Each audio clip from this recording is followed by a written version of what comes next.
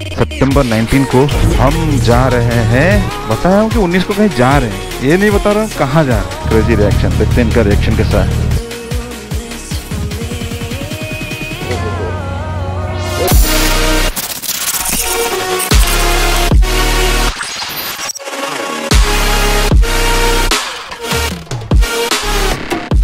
Hello guys welcome back to this channel जय जगन्नाथ बहुत दिनों से मैं गायब था। उसका बहुत बड़ा रीज़न ये था कि हम सितंबर में एक्चुअली एक बहुत बड़ा ट्रिप का प्लान कर रहे थे। एंड वो ट्रिप फाइनल भी हो गया है। सितंबर 19 को हम जा रहे हैं वो मैं नहीं बताऊँगा वो सरप्राइज़ है। तो वो जिस दिन मैं ब्लॉग अपलोड करूँगा उसी दिन ही आपको पता चलेगा हम लोग कहाँ जा रहे हैं। एंड समर का भी uh, मतलब डाइसी है थोड़ा लास्ट मोमेंट में वो बताएगा। आशीष गुप्ता, वो भी जा रहा है। एक बहुत बड़ा राइड होगा ये एंड बहुत मज़ा आने वाला है। पीयूष जो कि मतलब पहली बार ऐसे एक दस बारह दिन वाला एक ट्रिप में जा रहा है। आशीष तो हालाँकि पहले जा चुका है तो बहुत मज़ा आने वाला है। बयान नहीं कर सकता हूँ भाई मतलब ये मतलब अचानक ये प्लान बना, और मैं तो हमेशा से ही राज़ी था।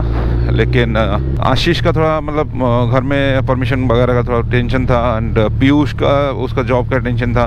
तो वो सारा सब चीज़ हो गया और फाइनली हम 19 को जा रहे हैं सितंबर 19 आज है आई गेस फोर्थ ऑफ़ सितंबर 15 दिन रहा और मैं बताऊँगा नहीं, और आप लोग गेस करो, हम लोग कहाँ जा रहे हैं? बहुत मज़ा आने वाला है, बहुत मज़ा आने वाला है। मतलब मैं सोच के ही इतना खुश हो रहा हूँ, मैं बता नहीं सकता। ये था पहला इन्फॉर्मेशन एंड अभी शाम को मैं कहाँ जा रहा हूँ? आज सैटरडे है और लॉकडाउन जो है वो खुल गया है, जो वीकेंड शटडाउन भी था वो भी खुल गया है। बस रात को 10 बजे से सुबह छः बजे तक वो एक कर्फ्यू है। कहा जाए तो थोड़ा ईज हो गया अभी, पूरा एकदम वीकेंड में भी हम लोग राइड वगैरह कर सकते हैं। तो ये राइड ना करने का भी एक बहुत बड़ा रीज़न है इतने दिनों से हम लोग राइड वगैरह नहीं कर रहे थे। ये है हमारे धर्मा भाई। ये रहा मेरा शोरूम पीछे ऑफ़िस है एंड ये रहा कटक रोड जो कि हमेशा यहाँ पर ट्रैफ़िक रहता है।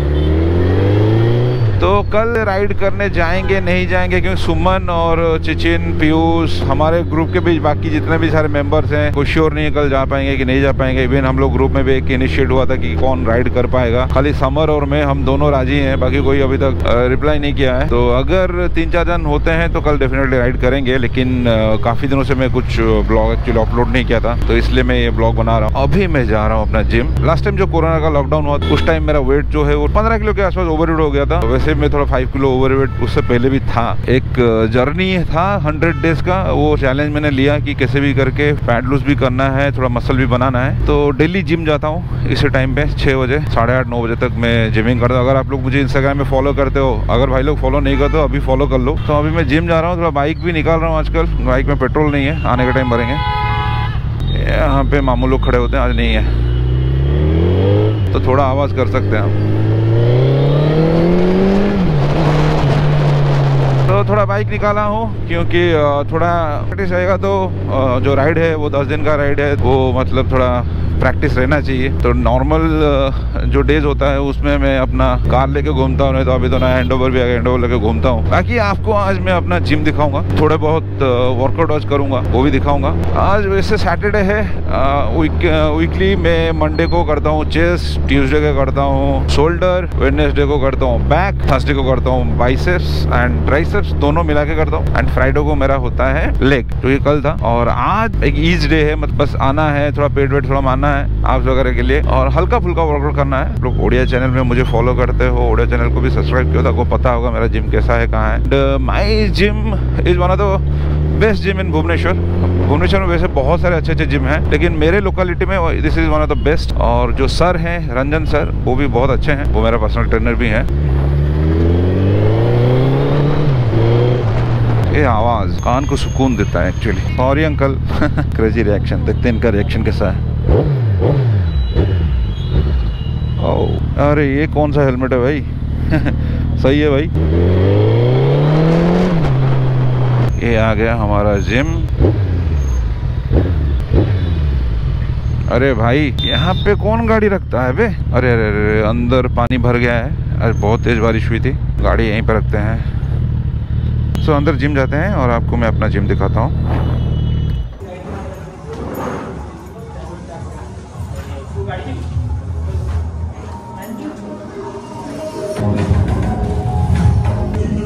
this is our gym and this is me hi hi cook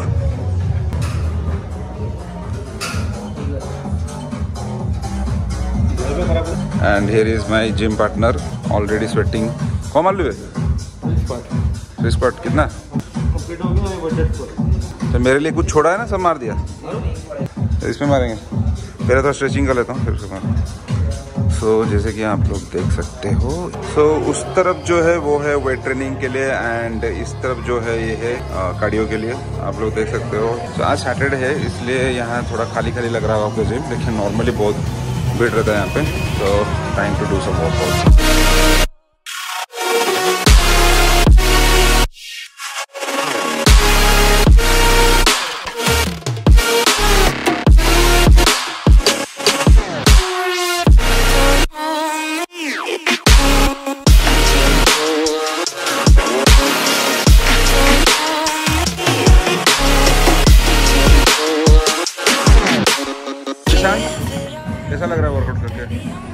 Saturday है अच्छा लग रहा है लेकिन तो सब तो मिक्स मारेंगे और क्या?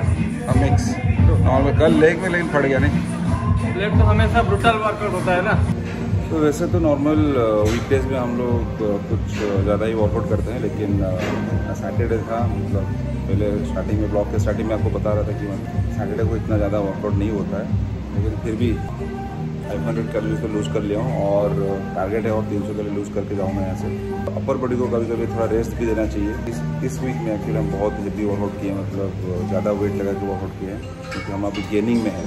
मतलब पहले तो था तो रिड्यूस कर रहे थे हम लोग अभी हम लोग गेनिंग कर रहे हैं। तो रेस्ट भी देना चाहिए और और थोड़ा वॉक वॉक करूँगा, थोड़ा जाके, फिर वॉक करूँगा रन करूँगा थोड़ा सा और उसके बाद फिर यहाँ से निकल जाऊँगा। एक ग्रिल्ड फ़िश कितना टाइम के अंदर दे सकते हो? सर हम लोग बारह से पंद्रह मिनट के अंदर देते हैं। बारह से पंद्रह अभी देख टाइम हो रहा है एट ज़ीरो टू आठ पंद्रह तक मिल जाएँगे। पक्का? पक्का। ये सब मेरे जाने पहचाने लोग हैं मतलब डेली आता रहता हूँ यहाँ पे ऊपर जिम में नीचे अड्डा है। और यहाँ का जो ग्रिल्ड फ़िश है बहुत ही बेहतरीन जिसको बोलते हैं। फटाफट दे भाई नहीं तो घर में और घुसने नहीं देंगे। ठीक है भाई भाई मेरे को जब घुसते ही बोल देंगे दस मिनट में हो जाएगा। चलो। नॉर्मली रात को मैं डिनर ज़रा हेवी नहीं करता हूँ, लेकिन कभी कभी मन करता तो यहाँ पे आ जाता हूँ ग्रिल फ़िश खाने के लिए, क्योंकि भुवनेश्वर में सबसे अच्छा ग्रिल फ़िश यहीं पे मिलता है, यहीं पे मिलता है। कभी कभी ऑर्डर भी किया हूँ मतलब जब लॉकडाउन था उस टाइम ऑर्डर भी यहाँ पे, यहाँ से करता था मैं। और यहाँ का जो प्राइसिंग है मतलब ग्रिल फ़िश का जो प्राइस है, मुझे बहुत मतलब रिजनेबल लगता है। तो मेरा एक्चुअली मुँह में पानी आ रहा है मतलब सोच के कि ग्रिल फ़िश आ रहा है बोल के। और कुछ खाने का भी मन कर रहा है क्या ऑर्डर करूँ सोच रहा हूँ।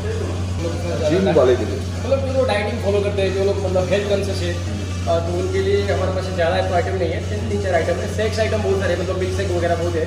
जैसे कि मिल्क से आप शुगर डालते तो उसमें नहीं शुगर कुछ भी ऐड नहीं करते जो चिकन में क्या खिलाओगे बोलो? एक मायो सलाद और chicken that will be nice ना वो एक वो एक कर दीजिए। तो एक मायो चिकन एक खाएँगे और ग्रिल फ़िश खाएँगे मुँह में पानी आ रहा है जल्दी हाँ हो हो हो हो हो हो हो हो हो हो हो हो हो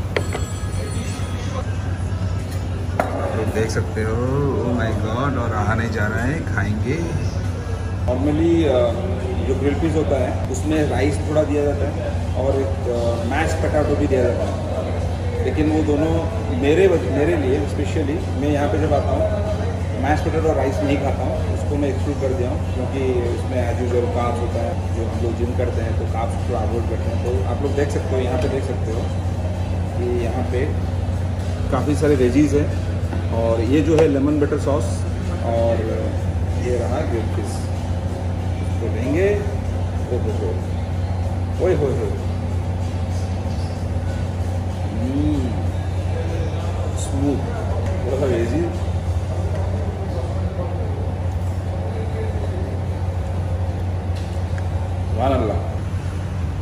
अल्लाह और सलाद चिकन वाह बढ़िया दिख रहा है लेकिन। खा के देखते हैं।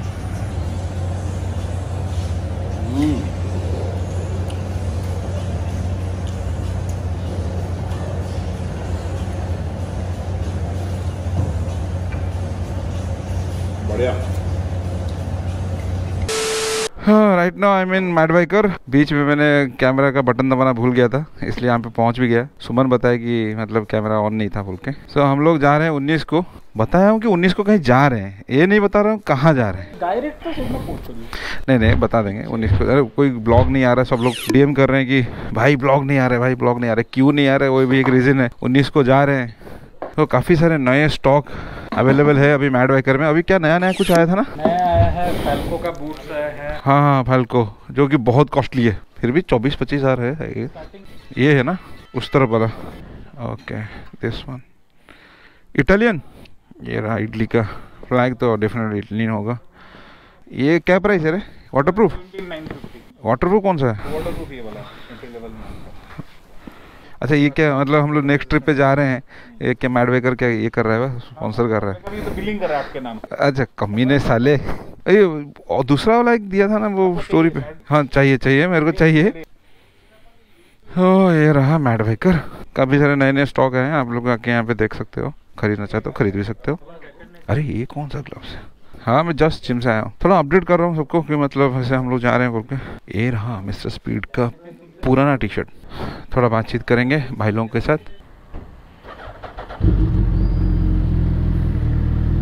See you in the next vlog guys. Ride safe, ride with gears.